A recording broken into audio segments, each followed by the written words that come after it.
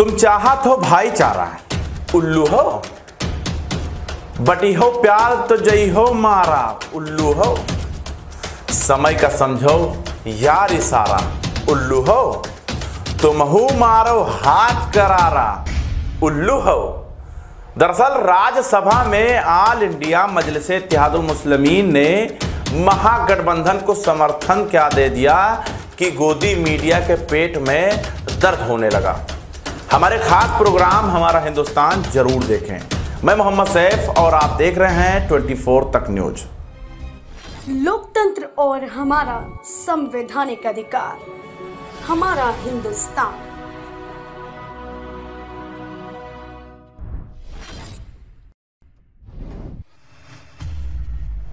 भारत के सभी राजनीतिक दल भारतीय संविधान के दायरे में रहकर राजनीति करते हैं। वह चाहे वो चाहे भले ही आपसी मतभेद और विचारधारा से अलग हो, मगर मकसद सिर्फ़ एक ही रहता है, सत्ता पाना। इसलिए हम लगातार कहते हैं कि राजनीतिक दल एक दूसरे की लाख बुराई करे, मगर ज़रूरत पड़ने पर एक दूसरे के, एक दूसरे से गठबंधन करके भले ही आपसी मतभेद और विचारधारा से अलग हो, मगर मकसद सिर्फ़ एक ही रहता है, सत्ता पाना। इसीलिए हम लगातार कहते हैं कि राजनीतिक दल एक दूसरे की लाख बुराई करे, मगर ज़रूरत पड़ने पर एक दूसरे से गठबंधन कर लेते हैं। यह भारतीय राजनीति में नया नहीं है। आज़ादी के बाद से ही जोड़ तोड़ की राजनीति चली आ रही है, मगर ताजुब तब होता है जब आज कोई पार्टी भाजपा के सिवा किसी अन्य पार्टी से गठबंधन करती है। तो आज का गोदी मीडिया उस पर ऐसा भौंकता है, जैसे इतिहास के पन्नों में यह पहली बार हुआ है। जबकि भारत के जिन राज्यों में भाजपा सरकार है, लगभग सभी राज्यों में गठबंधन की सरकार है। मगर बिकाऊ मीडिया को तो अपने आका को खुश करने के लिए गला फाड़ना है हाल ही में हुए चार राज्यों की 16 सीटों के राज्यसभा चुनाव में महाराष्ट्र के ऑल इंडिया मजलिस इत्यादुल मुस्लिमीन के दो विधायक ने पार्टी हाईकमान यानी असदुद्दीन अवैसी के कहने पर कांग्रेस व शिवसेना के गठबंधन को वोट क्या कर दिया कि टीवी चैनलों पर जैसे भगवा का अपमान हो गया। भाईजान को उद्धव ठाकरे अच्छे लगने लगे, जैसे मामले टीवी चैनलों पर चलने लगा। इन बेवकूफ़ों की नज़र में अवैसी ने कोई इन बेवकूफ़ों की नज़र में अवैसी ने कोई ऐतिहासिक कार्य भारत की भूमि पर कर दिखाया हो।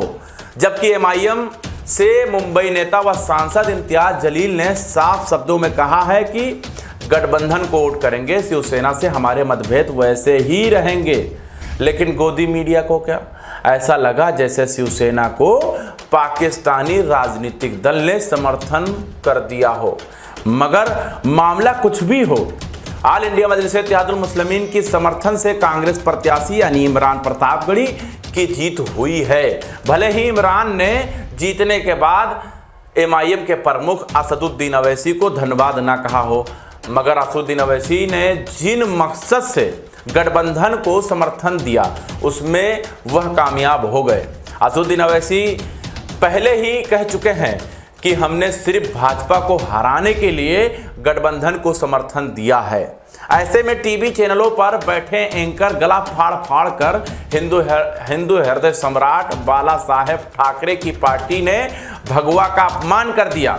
जैसे खबर चलाकर हिंदुओं की भावनाओं को तो भड़का ही रहे हैं, साथ ही साथ देश में दो समुदाय के बीच की दूरी को खाई बनाने का भी प्रयास कर रहे हैं। और इन पर लगाम लगाने वाले खुद मज़ा लेकर देखकर देश को बांटने का प्रयास में मस्त हैं। देश की ऐसी हालात कभी होगी, ये सपने में भी नहीं सोचा था। ऐसे में एक शेर किसी शायर का याद आया, जब इंसाफ जालिमों की हिमायत में जाएगा, ये हाल है तो कौन अदालत में जाएगा? ऐसे दुर्भाग्यपूर्ण समय में रफ़ीक सादानी का यह शेर तेज़ी से सोशल मीडिया पर वायरल हो रहा है। अब आपको हमारी स्टोरी कैसी लगी? कमेंट बॉक्स पे जाइए, अपना राय दीजिए। और अपने दोस्तों को इस वीडियो को शेयर कीजिए। नए हैं तो सब्सक्राइब कर लीजिए। और हाँ गोदी मीडिया से उतना ही नज़दीकी बना लीजिए जैसे अपने परिवार से। क्योंकि अगर आपको कुछ सीखना है तो हर एक चैनल को देखना होगा कि क्या चल रहा है भारत देश की सियासत में। बहुत बहुत धन्यवाद हमारे साथ जुड़े रहने के लिए।